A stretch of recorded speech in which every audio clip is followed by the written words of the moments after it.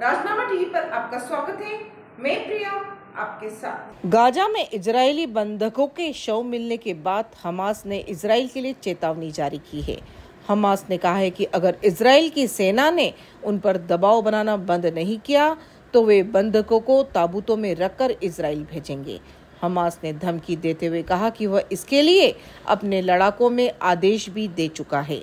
अल जजीरा के मुताबिक कासिम ब्रिगेड के प्रवक्ता अबू उबेदा ने कहा कि अगर इसराइल के प्रधानमंत्री नेता बिना समझौते के सैन्य दबाव बनाकर बंधकों को छुड़ाने की कोशिश करेंगे तो हम उन्हें ताबूत में रखकर लौटाएँगे।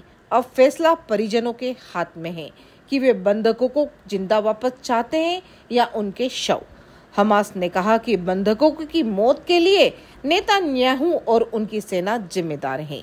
वहीं नेता न्याहू ने कहा कि हमास की सुरंगों में जिन छह बंधकों के शव मिले थे, उन्हें पीछे से सिर पर गोली मारी गई थी। इजरायली पीएम ने बंधकों को जीवित वापस लाने में सफल न होने पर देश से माफ़ी मांगी।